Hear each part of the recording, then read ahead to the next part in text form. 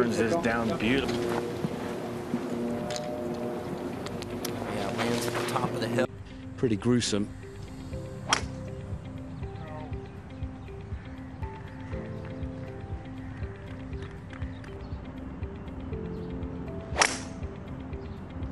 Looks to like that one, and why wouldn't you?